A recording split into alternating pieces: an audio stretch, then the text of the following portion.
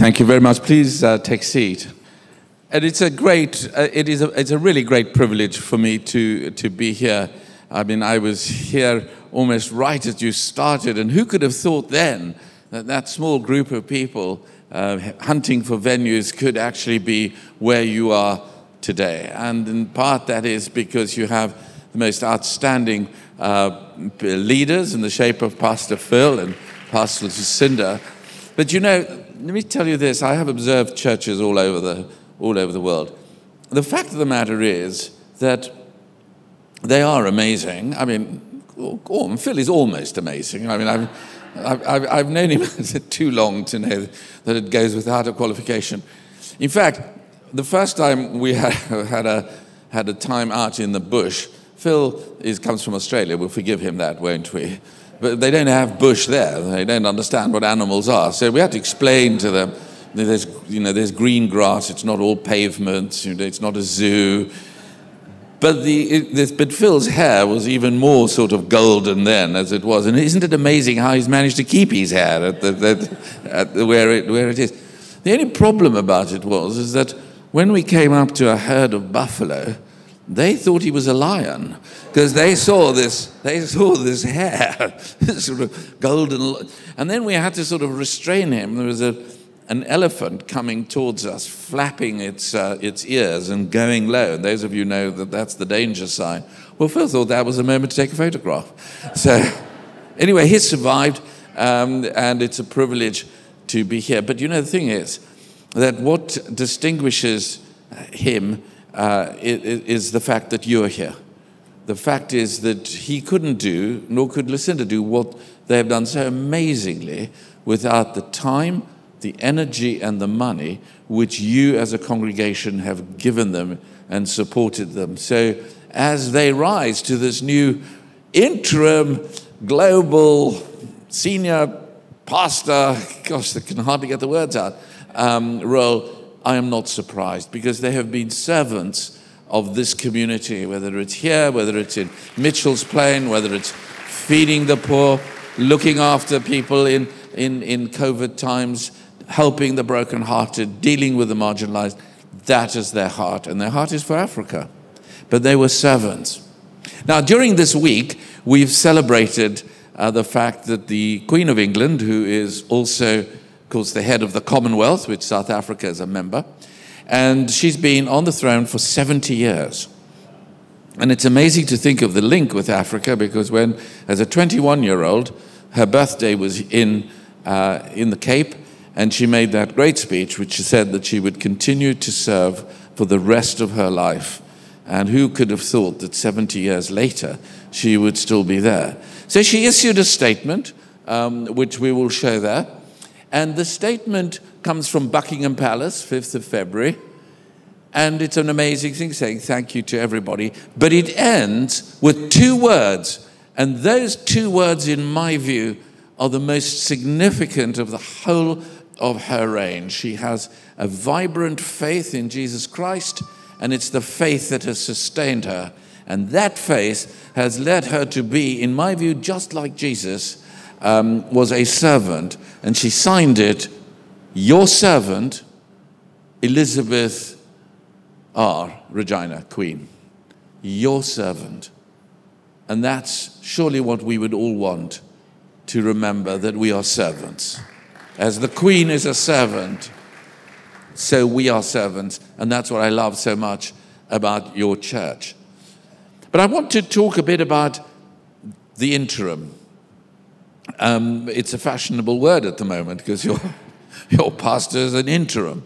Um, because it seems to me that we are in that in between stage.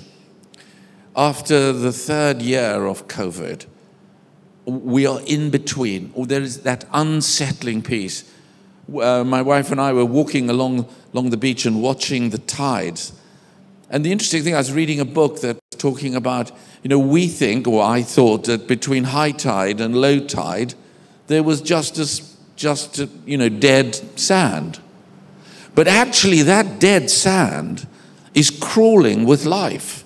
If only you would scratch around and look, you would find sort of crabs and other things which are scuttling around. And we think that this interim time, this time of, of COVID when we're uncertain, we can't see properly, we can't work out where we're going, is a dead time, but it's not. If we would scratch about, if we would look, we would actually see there is life in between the tides. Now, some people would want to go back to the old tide, that what we thought was a high tide. But actually, it's a new time coming. And I sense the tide is turning. We're living in a complicated world at the moment. Who knows what's going to happen on the macro political world? Who knows what's going to happen to our finances globally? Who happens to know what's going to happen to our churches? Will people be coming back? Governments in all parts of the world are struggling. Unemployment is rising in this country. Who knows what that future looks like? But I sense that we're seeing a turn in the tide, and the tide is that of the faith and belief in Jesus Christ. What the world most needs, we have, which is the good news. The good news of Jesus Christ, who comes as a servant to give us true sight of what he really longs for us to be doing. And you know, I don't know, about a year or so ago, we were asking ourselves the question Am I going to make it? Am I going to get through this COVID time? And then after a while, maybe six months ago, we we're saying, I think we're going to make it.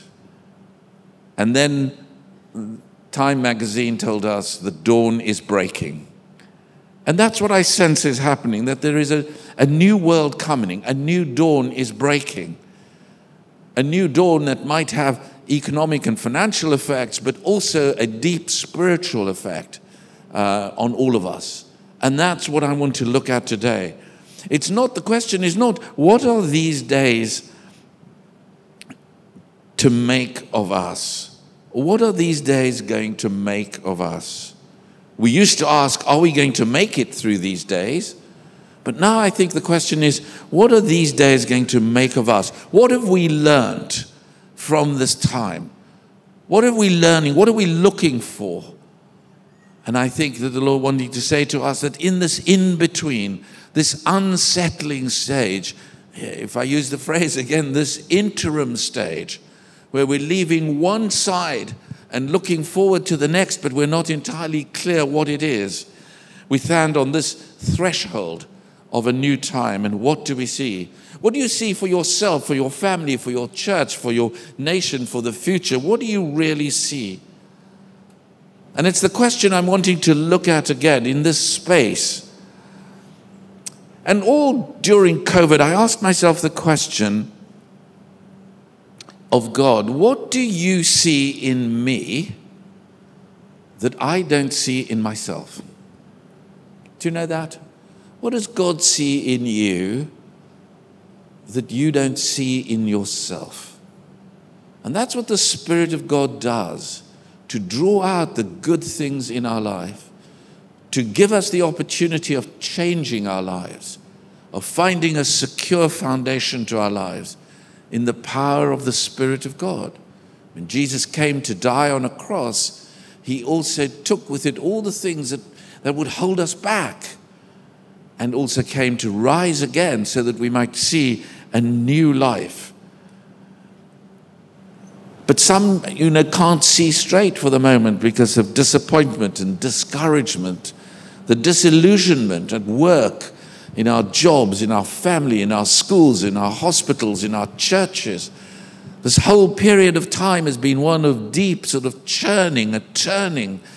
And we're unsettled, we're lonely, unfulfilled, stagnant, stuck for many not being able to see. But Helen Keller, the, the blind uh, author, said to us the only thing worse than being blind is having sight but no vision. And so we look around and we say, maybe we've lost our sight. We just begin to accept things as they are rather than as they could be. And you're having Vision Sunday coming up which is why it's so important that we are able to look forward with hope, because it's hope that we can offer the world. It's hope in Jesus Christ to change. So instead of just believing big and risking disappointment, we start playing it safe. And we look to the past and think that will govern us going forward, and it hasn't. So, why is restoring the sight, this perspective, the way of looking at things so important? Because the eyes in your head will give you sight, but the eyes in your heart will give you vision. And it's the heart that moves us.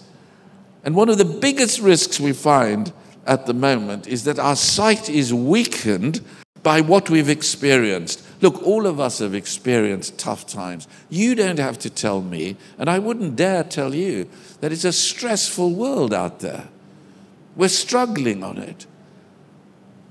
But I believe that we're looking to do what's next. He wants to deal with us and create this new normal, this new sight. So I want to look at two passages of Scripture. The first is in Mark, Mark chapter 8. And we've got it on the screen. They came to Bethsaida, and some people brought a blind man and begged Jesus to touch him. He took the blind man by the hand and he led him outside the village. And when he had spit on the man's eyes, he put his hands on him. And Jesus asked, Do you see anything? He looked up and he said, I see people, but they look like trees walking around. And once more, Jesus put his hands on the man's eyes, and then his eyes were opened, his sight was restored, and he saw everything clearly. Now, I think that this is a relevant passage and Jesus then sent him home, sorry. Um, said, Right, we've, we're done. But the interesting thing that I want to do, to look at, is that in this passage, um, we, we, we've, we've had a season when we've had amazing teaching, largely because you've watched it online. You've been able to turn the best preachers, the best uh, teachers, the best worship, and we've had more than we can cope with on information. But now we're being called back into the people of God, gathering together in the power of the Spirit of God, working together, working in our communities, seeing the good news spread, seeing people's life change. Because what we need is not information, but we need transformation. We need to be transformed. And how do we get transformed? We get transformed by the touch of the Spirit of God. How do we shift our gaze? How do we shift our gaze? This is what this passage is dealing with. Do you know it is six times in this passage we see Jesus touching, reaching out, as he does to you today. So let's look at what is, what is happening there. Um, we, we, see the first thing is this. Go, he goes to the village and he sees that there's a blind, uh, the blind person is there. Now, you would have thought that the Son of God, who can do any kind of miracle he wants to, would go to the person and say, Right, eyes open. But he doesn't do that. What he does is he takes him by the hand and while blind, they don't go for a walk. He leads him. And I want to pause there for a moment. For some of this period of time in this interim world, we've been blind. We haven't known which way to go. But we know that in the hand of Jesus, He will lead us. He won't just wander around with us wandering around, you know, saying, well, look, we're all in it together. There's nothing we can do. Um, we're blind. We don't really know. But what Jesus does is he takes the hand of that person and he leads that person determinedly. Sometimes we need to be prepared to be blind to the future and accepting the touch of Jesus to lead us. So he leads us out of and leads him out of the village. Why? Why couldn't he just heal him there and then?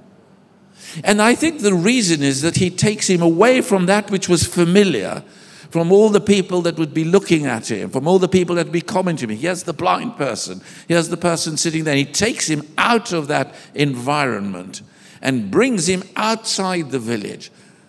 And this is what happens, I think, with us that he is taking us in and through that painful time of, of, the, of, of COVID, bringing out of the familiar in order to do something miraculous. And then what does he do there?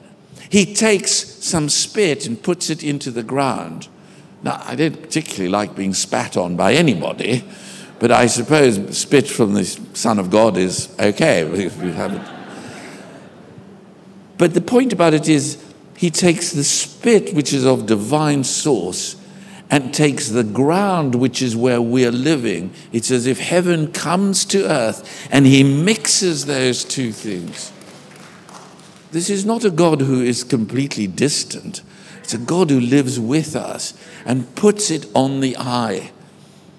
And then he says to the, to the guy, well, well, well, well, what can you see? And he kind of says, Well, I can't see very well, but I can see trees moving. He can see a sort of a sort of shape, but he doesn't know what that shape is like. He thinks it's a tree. It makes me think that he wasn't blind from birth. Probably knew what a tree looked like. And that's where we are in so much of the COVID times that we're at, is that what we've got is a situation where our eyes are beginning to open, but we can see a kind of shape. We kind of think, we can't see quite clearly. We can see a shape of what it might look like. My business might come back if the sales pick up. And if only the government wouldn't be so, there we are, and would, would do more for us, there we are. Every government everywhere in the world, everybody says the same thing. If only this, if only that, then we would be able to see. But we're seeing at the moment we've got tree sight and what we need is true sight. We need true sight. The sight that comes, that God gives to us of what that future would look like, rather than, than being able. But there is movement. We've seen this movement. We see something happening in this COVID time. We understand that. And what he does is he then does the second touch. And it's the second touch that I think we need. We've had a touch of the Spirit of God during this COVID time when we saw things, but they weren't very clearly defined. We weren't sure about anything. There were those people here who, who know what it was like to see in 2019 and now have lost the vision and you know, kind of things are walking around. We thought of a new church, of impacting a city, new salvations, life transforming, communities impacted, our children understanding the things of God, our schools being, being more, uh, more open than they have been, our, our hospitals not being full. We, we've had this whole sense of, of, of, of there being a, a shapelessness around. And God calls us to say, it's time for a touch. Because behind every touch, there is a test. The test is will you trust Him? He'll extend His hand, even though you're blind, to lead you into the future. Will you trust Him? Because the test is there behind the touch. And then you saw what happened. Then Jesus put the spit onto him again. And the second touch was the one that transformed the pains of uncertainty, the unsettling that this man had. Um, the second touch tells you that you've got the strength to keep believing when you don't feel like believing. When it becomes clearer, and we say to ourselves, each one of us is asking, Lord, will you touch me again? I've known your touch in the past. I need your second touch now. I need it now for the new dawn that is breaking not the old touch that was needed for the beginning of this difficult season that we've been in. I'm hurting, Lord. I don't have it figured out. I don't know what next week will look like, let alone next year. Lord, we need a new touch from you. We need that second touch. And once again, Jesus put his hands on the man's eyes, and then his eyes were opened his sight was restored, and he saw everything clearly. It's a wonderful piece that that we can see things clearly as God would want us to do. Doesn't mean to say that the uncertainties of life, the difficulties of life, the harshness of commercial compromises, the, the, the pain of businesses that are failing, the, the, the, it doesn't mean to say all of that just suddenly goes away.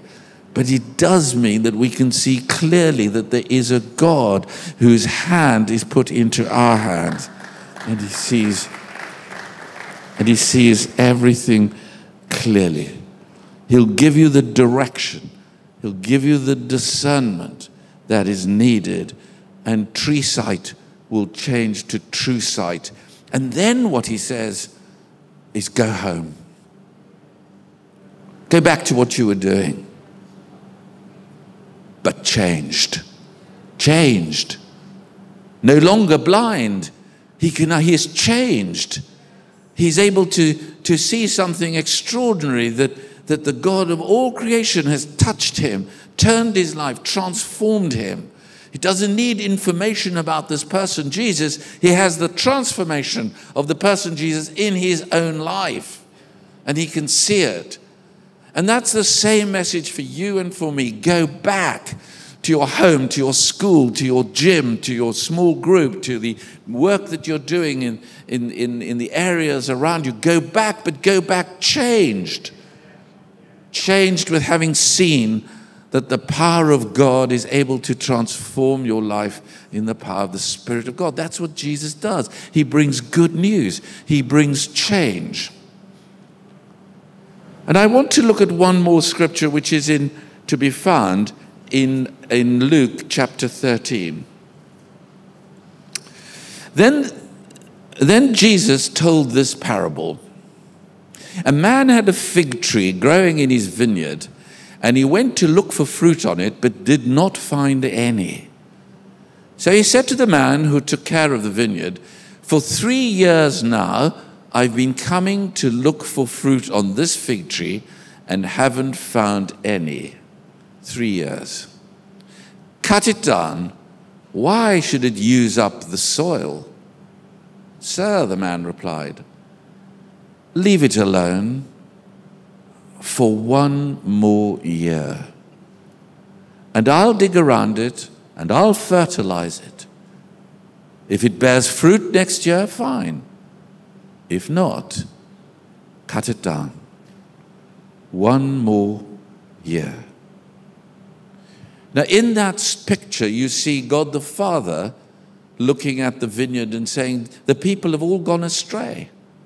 And Jesus comes as Jesus' mission on earth was to say to the Father, Give them a second chance. We've talked about a second touch, but also He gives us a second chance. You may have messed up in your life, your relationship's not what they could be. You know that you've done things that are displeasing to God. You sense the shame and the guilt of all that is added up to your life. And you kind of don't know what to do. And he says, I'll give you a second chance. It's what he asked of the, of the vine, of the keeper of the field, to keep that fig tree for one more year. And I want to be specific for you, this church, and you, the people here in Hillsong. This is the year of the Lord's favor you have taken as the text for your Vision Sunday. But it is one more year. So, what do we do? Do we just say it's one more year? Isn't that great? Well, I hope it will be. One more year to see whether there is any fruit. I'm not suggesting that there wasn't any fruit in your case, but what I am suggesting is that there is going to be an increase of fruit in one more year. And you could say, well, that's great. And if you're kind enough to have me back in a year's time, we'll do a little audit and find out whether it worked or not. But the fact of the matter is, he's saying, no, no. What does, the, what does the gardener, the person working there, do? He says, give me a chance, give me a second chance to be able to fertilize and to dig up the soil. And that's what you and I are called to do. It's not just to stand back and wait and say, God, give me a second chance. I've really screwed up. I, I need a second chance. I know I've messed up my life. There's not much fruit in my life. But no, he says, I give you a second chance. But what we need to do is to dig around it. What does that digging look like? It looks like coming to, to reading the Bible, praying, worshiping, and also working in the communities that you are serving, serving others not just concern for yourself, that enables you to dig around it and to aerate the soil by the Spirit of God, to allow the breath of the Spirit of God to come into your life as you dig up the things that were heavy and holding you back and restraining you from being fulfilled and being fruitful. In the King James Version of the Bible, it says, dig and dung. Pretty straight. Put the fertilizer in, put the nutrients into the ground. And the nutrients are found in this community of the people of UP led by. Uh, but in this church, that you are led in a way where there are nutrients. You've got the great courses that you've just been, been, been looking at for almost every need that you would have. Those are the nutrients. Those are the ways in which God just not only gives us a second chance, but enables us to say, I'm doing it with you. In the same way as Jesus spat on the ground, he didn't have to. He could have touched the eyes. But he wants to show there's a link between what is on earth and what is of God, between what God can do to bring fruit and what you can do to dig and to work the soil of your lives, to plow up the hard spaces and allow the Spirit of God to bring the fruit that I fundamentally believe will continue to grow in this amazing church that you have planted here and all over Africa, where you are planting all the churches that even your senior pastor wasn't able to remember because there are so many, will there be?